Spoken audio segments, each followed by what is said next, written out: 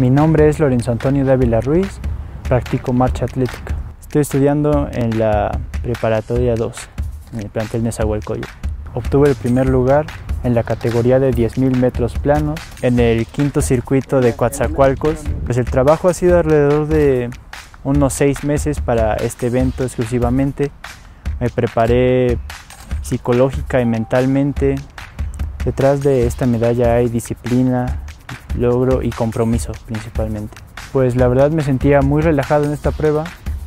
Em, yo tenía que ir por el primer lugar y me sentía seguro de por lo que iba, pero claro, cuando cruzas la meta la satisfacción es aún más grande.